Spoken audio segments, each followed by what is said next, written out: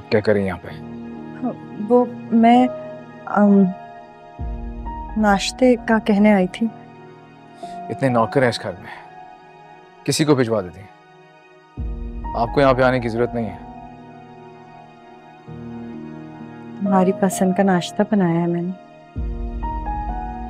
आपको मेरी पसंद का अंदाज़ा है क्या? बेटे। करीब मत आइएगा मेरे। उमैर नाम है मेरा। बेटा कह के मत पुकारे मुझे। बेटे नहीं हो क्या तुम मेरे? माँ नहीं हूँ क्या मैं तुम्हारी? हाँ?